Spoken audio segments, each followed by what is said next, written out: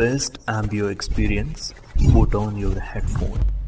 Hello terrific tellers welcome to Sunday subscriber story ఈ Sunday మనకు story అందించిన వారు మాధవరావు. మరెందుకు ఆలస్యం?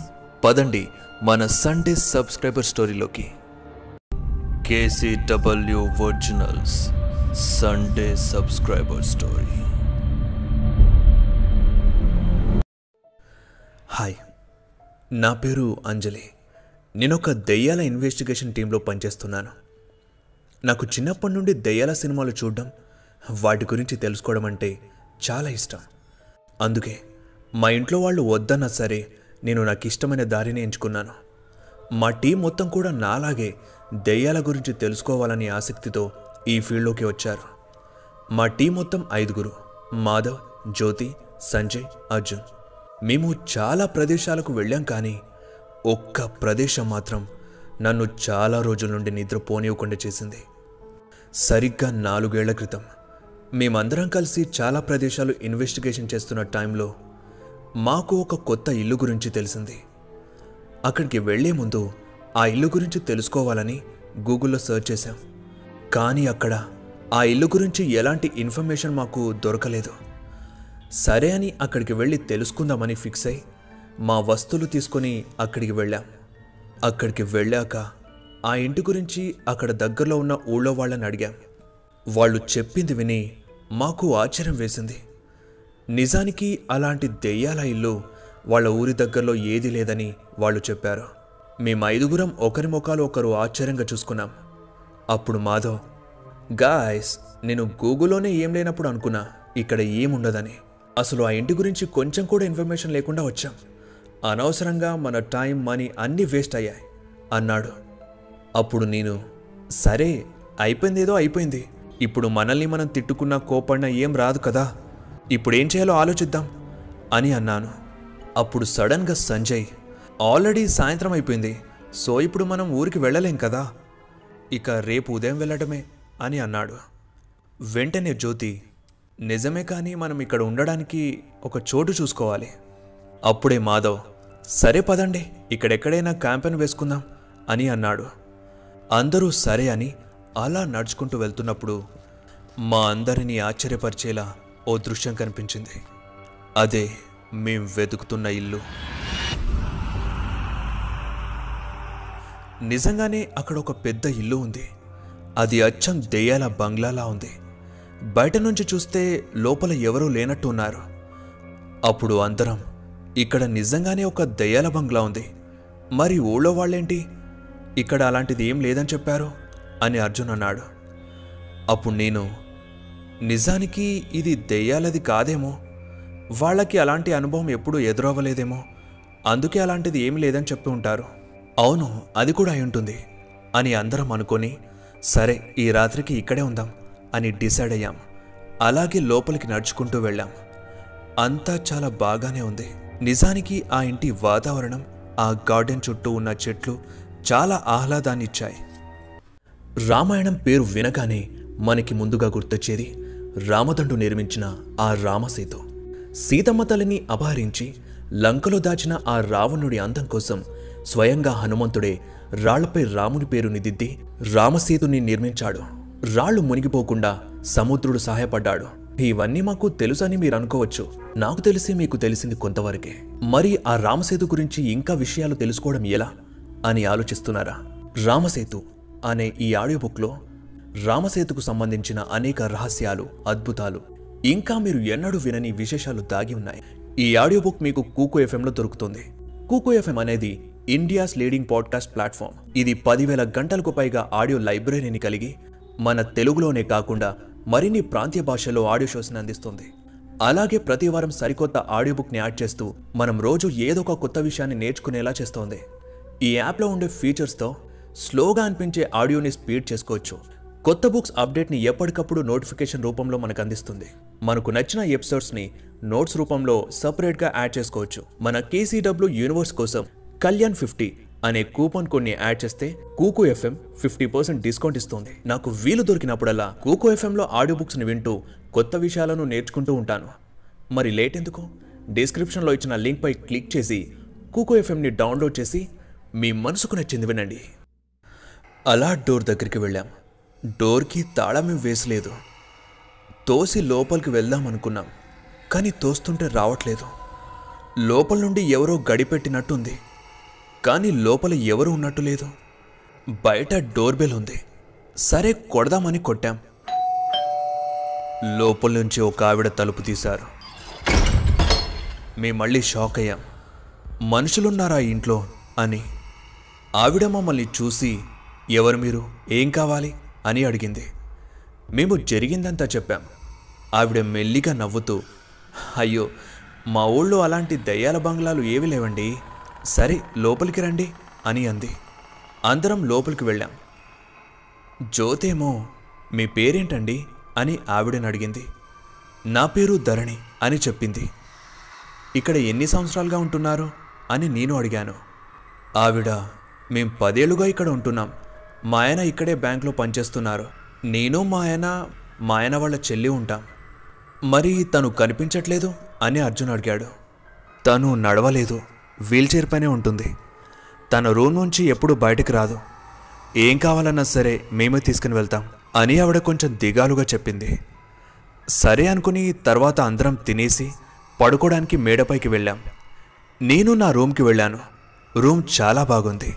కిటికీలో నుంచి చల్లని గాలి నన్ను అలసిపోయావు త్వరగా పడుకో అని చెప్తున్నట్టు ఉంది.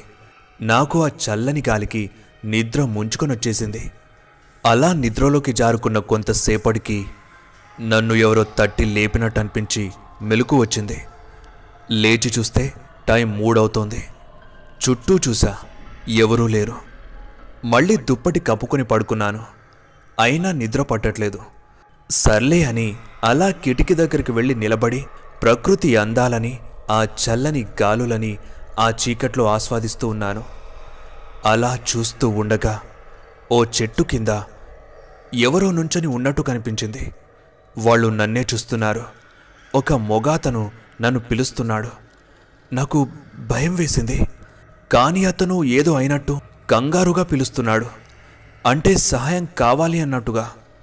నేను కొంచెం ధైర్యం తెచ్చుకొని పాపం ఏదైనా సహాయం కావాలేమో అని వేగంగా కిందకి వెళ్ళి అతని వైపు నడుచుకుంటూ వెళ్తున్నాను. అతను ఇంటి గేట్ బయట చెట్టు దగ్గర ఉన్నాడు. నేను గేట్ తీసి అతని దగ్గరికి వెళ్ళి ఏమైందని అడిగాను. అతను నా వెనక వైపు చేతిని చూపించాడు. నేను వెంటనే వెనక్కి తిరిగాను. ఆ దృశ్యాన్ని చూసి నా కాళ్ళు చేతులు ఒక్క క్షణం వణికాయి. అక్కడ ఏం జరిగిందంటే సంధ్య ఎంతసేపని చదువుతావమ్మా రా చాలా టైం అయింది భోజనం చేసి పడుకో అని మా అమ్మ పిలిచింది. నా పేరు సంధ్య. నేను మా ఊరి గవర్నమెంట్ కాలేజ్లో ఇంటర్ సెకండ్ ఇయర్ చదువుతున్నాను. మాకు ఫైనల్ ఎగ్జామ్స్ దగ్గరలో ఉన్నాయి. ఇప్పుడు ఒక పది రోజులు ప్రిపరేషన్ హాలిడేస్ ఇచ్చారు. ఈ సెలవుల్లో నేను సబ్జెక్ట్ చదవడం మానేసి రోడ్డు మీద దొరికిన ఒక డైరీ చదువుతూ కూర్చున్నా. మా అమ్మ మాత్రం నేను చాలా ఎక్కువ చదివేస్తున్నా అనుకుంటుంది. కానీ నేను ఒక డైరీ చదువుతూ ఇలా టైం వేస్ట్ చేస్తున్నానని తెలిస్తే నన్ను కొట్టారని చోట కొట్టకుండా కొడుతుంది.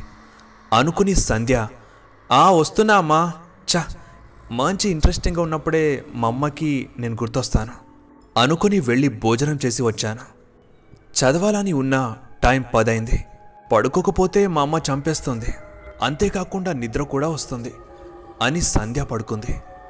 మధ్యరాత్రిలో ఎవరో సంధ్య సంధ్య అని పిలుస్తున్న శబ్దం వినిపించి వెంటనే నిద్రలోంచి లేచింది. అమ్మా నువ్వేనా పిలిచింది? అని అరిచింది. కానీ ఎలాంటి రెస్పాన్స్ లేదు. నా భ్రమేమో అని అనుకుని టైం చూసి పడుకుంది. ఉదయం మూడు గంటలైంది ఎగ్జాక్ట్గా. ఇక మళ్ళీ పడుకుంది. ఆ తరువాత కొంతసేపటికి తనపై ఎవరో ఊగుతున్నట్టుగా శబ్దం వచ్చింది. మళ్ళీ లేచి ఏంటా సౌండ్ అని కళ్ళు తెరిచి చూస్తే రెండు కాళ్ళు తన పైన వేలాడుతూ ఉన్నాయి. వెంటనే తనకి చెమటలు పట్టేశాయి. కళ్ళ ముందున్న ఆ దృశ్యాన్ని చూసి నమ్మలేకపోయింది. తన గుండె ఆగినంత పనైంది. గట్టిగా కళ్ళు మూసుకుంది. మళ్ళీ మెల్లిగా కళ్ళు తెరిచి చూస్తే అక్కడ ఏమీ లేదు. కొంచెం కుదుట పడి పక్కకి తిరగగానే ఒక మొండెం లేని తల తనని చూస్తూ నవ్వుతూ సంధ్య, వచ్చే వచ్చే నాతో." నాతో అంటూ పిలుస్తోంది. ఆ భయంకరమైన దృశ్యాన్ని చూసి సంధ్య గట్టిగా చేసింది అప్పుడే వాళ్ళ అమ్మ పరిగెత్తుకుని వచ్చి ఏమైందమ్మా? అని అడుగుతుంది. సంధ్య ఏడుస్తూ జరిగింది చెప్పింది. అప్పుడు వాళ్ళమ్మ నీకు ముందే చెప్పానుగా ఫోన్లో ఆ కేసీడబ్ల్యూ స్టోరీస్ వినొద్దని. కానీ నా మాట వినవు. అలాంటివన్నీ వింటేనే ఇలా అర్ధరాత్రి ఊహించుకొని భయపడిచేస్తావు అని కోప్పడింది. సరే ఉండు అని చెప్పి దేవుడి కుంకుమని తీసుకుని వచ్చి నుదుటన బొట్టు పెట్టి ఇంకా ఏ కలలు రావమ్మా? పడుకో అని చెప్పి వెళ్ళిపోయింది. తర్వాత రోజు లేచి రాత్రి జరిగిన దాని గురించి ఆలోచిస్తూ ఉంటుంది. అదంతా నిజమా? లేదా నా భ్రమ? లేదా నా కల? అని ఆలోచిస్తూ ఉండగా అప్పుడే వాళ్ళమ్మ సంధ్య నేను మార్కెట్కి వెళ్ళి వస్తాను. భయపడకుండా జాగ్రత్తగా ఉండు. ఫోన్ టేబుల్ పైన పెట్టాను. భయం వేస్తే ఫోన్ చేయి సరేనా? అలా అని ఫోన్ చూస్తూ కూర్చోకు చదువుకో ఎగ్జామ్స్ కదా? అని చెప్పి వెళ్తుంది. వాళ్ళమ్మ వెళ్ళాక ఎగ్జామ్స్ కదా? చదువన్నమాట గుర్తొచ్చి చా అవును నైట్ డైరీ మధ్యలో ఆపేశాను కదా. పద వెళ్ళి చదువుదాం. తన రూమ్లోకి వెళ్ళి డైరీ తీసి చదవడం మొదలు పెడుతోంది. అక్కడ ఏం జరిగిందంటే ఒక అతను ఒక అమ్మాయిని ముక్కలు ముక్కలుగా నరుకుతూ ఉన్నాడు. నా కాళ్ళు చేతులు ఆ దృశ్యాన్ని చూసి వణుకుతూ ఉన్నాయి. నోటిలో నుంచి మాట రావట్లేదు. అలా నుంచొని చూస్తున్న నన్ను నన్ను రమ్మని పిలిచిన అతను వెనక నుంచి ముందుకు తోశాడు. నేను నేరుగా వెళ్ళి ఆ నరుకుతున్న అతన్ని గుద్దుకున్నాను. వెంటనే అతను నా వైపు తిరిగి చూశాడు. అతని ముఖం సగం కాలిపోయింది. కళ్ళు తెల్లగా ఉన్నాయి. అంత అంత దగ్గర నుంచి అతన్ని చూశాక నా గుండె ఆగినంత పనైంది. వెంటనే గట్టిగా అరుస్తూ ఇంట్లోకి వెళ్ళిపోయా. ఆ కంగారులో నా రూమ్ అనుకుని ఆ నడవలేని అమ్మాయి రూమ్కి వెళ్ళాను. వెంటనే రిలాక్స్ అయిపోయి చుట్టూ చూస్తే అది నేనున్న రూమ్ కాదు. ముందుకు వెళ్ళి చూశాను. బెడ్ పైన ఎవరూ లేరు. పక్కకు తిరిగి వెళ్ళిపోదాం అనేసరికి ఆ అమ్మాయి వీల్చైర్లో కూర్చొని కిటికీ వైపు చూస్తూ అసలు మీరు ఎందుకని మా ఇంటికి వచ్చారో? రాకుండా ఉండాల్సింది అని అంది.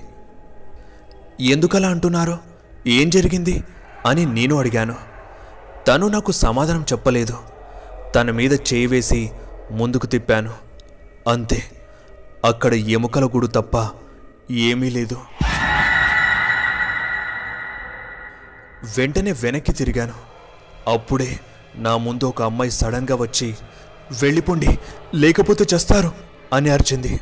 ఆ అరుపుకి నేను భయంతో గట్టిగా అరిచా. అప్పుడే అందరూ లేచి వచ్చారు. మాధవ్ ఏమైందని అడిగాడు. అప్పుడు ఆ వీల్చైర్ని చూపించా. అక్కడ ఎవరూ లేరు కదా అని అన్నారు. నాకు ఆశ్చర్యం వేసింది. అంతేకాకుండా బయట ఇలా జరిగిందని కూడా చెప్పాను. అప్పుడు అందరూ ఒకరి ముఖాలు ఒకరు చూసుకొని ప్రాంక్ చాలా బాగుంది. బాగా ప్లాన్ చేశావు. కానీ మేము కూడా గోస్ట్ ఇన్వెస్టిగేటర్సే కదా. ఇలాంటి వాటికి భయపడమని తెలుసు కదా? అని అందరూ నవ్వుకున్నారు. నేను వెంటనే కోపంగా నాకేం సరదా కాదు. ఈ టైంలో ఇలా చేయడానికి నేను చెప్పేది నిజం అని అరిచాను. సరే సరే. రిలాక్స్. కొట్టుకోవద్దని అర్జున్ మమ్మల్ని ఆపాడు. సరే వెళ్ళి పడుకుందాం అని అందరం అనుకుని ఎవరి రూమ్కి వాళ్ళు వెళ్ళారు. నాకు మాత్రం వెళ్ళాలని ఒంటరిగా అక్కడ పడుకోవాలని లేదు. కానీ భయంతోనే వెళ్ళాను. నాకు జరిగిన దాని గురించి ఆలోచిస్తూ ఉన్నా. అప్పుడే నాకు ఒక డౌట్ వచ్చింది. ఇంతమంది లేచారు కానీ ధరణి వాళ్ళ ఆయన మాత్రం ఎందుకు లేవలేదు? వాళ్ళు ఉంది కూడా మా పక్క రూమ్లోనే. నా అరుపు వినిపించలేదా? లేకపోతే వినిపించి కూడా రాలేదా? అని అనుకున్నాను. మళ్ళీ ఆ కిటికీ వైపు చూసా అక్కడ ఎవరూ లేరు. మళ్ళీ బయటికి వెళ్ళి చూశాను. అక్కడ ఎవరూ లేరు. ఆ అమ్మాయి రూమ్ డోర్ కూడా ఓపెన్ చేసి లోపలికి వెళ్దాం అనుకున్నా. కానీ డోర్ రావట్లేదు.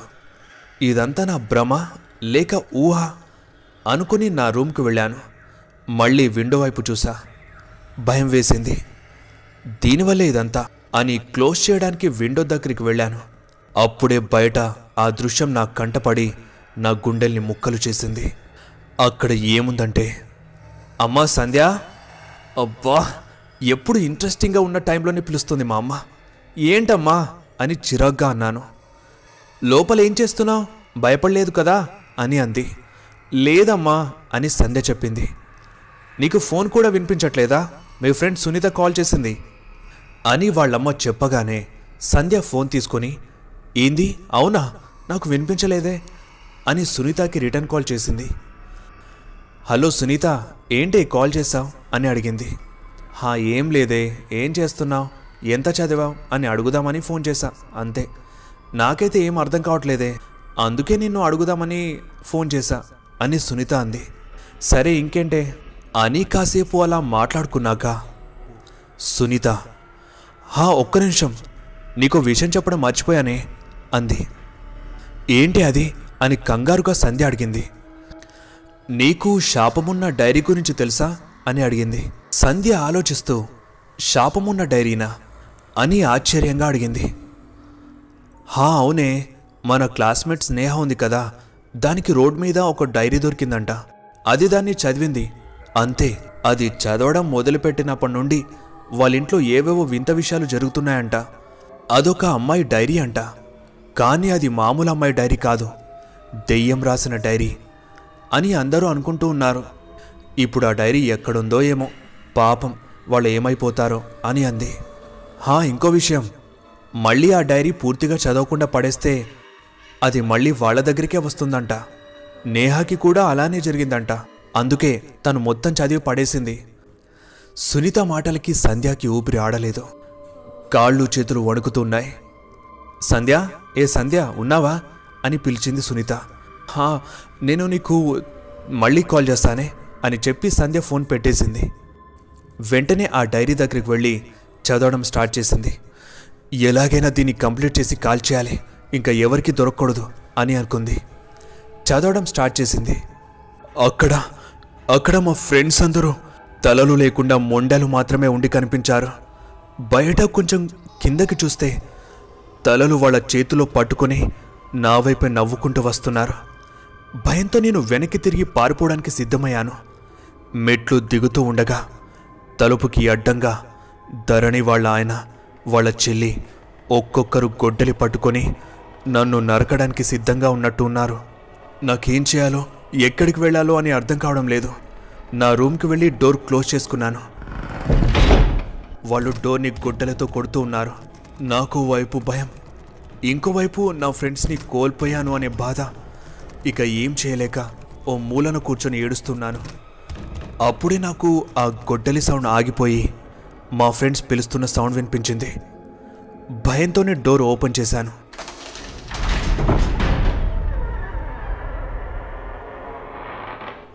సంధ్య ఆ తర్వాత పేజు తిప్పితే ఏమీ కనిపించలేదు.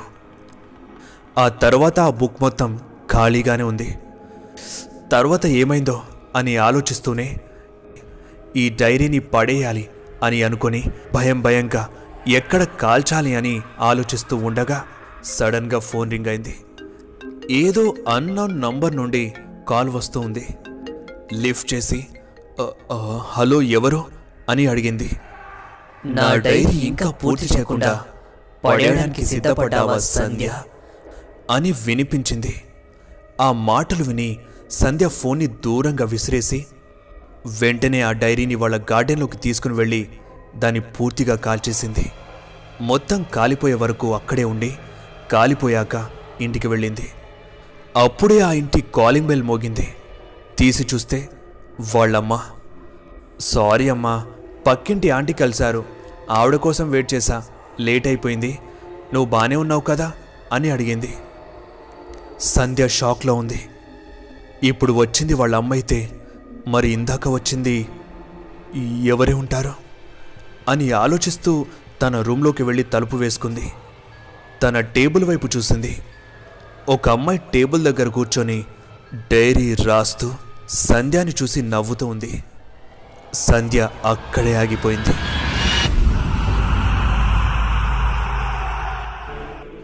మీ దగ్గర కూడా ఇలాంటి నిజమైన లేదా ఫిక్షనల్ కథలుంటే నాకు మెయిల్ కానీ ఇన్స్టాలో మెసేజ్ కానీ eight three two eight double six eight five seven one నంబర్కి కాల్ చేసి చెప్పండి.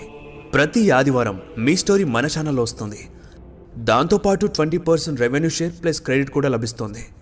ఛానల్ మెంబర్షిప్ తీసుకొని మన ఛానల్ గ్రోత్కి ఎంతో సపోర్ట్ చేస్తున్న ప్రవీణ్ కుమార్ జలజ ఆటూరి ప్రణీత్ కుమార్కి థ్యాంక్ యూ సో మచ్ మీరు ఇలానే సపోర్ట్ చేస్తూ ఉంటారని మనస్ఫూర్తిగా కోరుకుంటున్నాను. మీరు కూడా సపోర్ట్ చేయాలి అనుకుంటే జాయిన్ బటన్పై క్లిక్ చేసి మెంబర్షిప్ తీసుకోండి. దీనివల్ల మీకు ఎక్స్క్లూజివ్ కంటెంట్ కూడా లభిస్తుంది.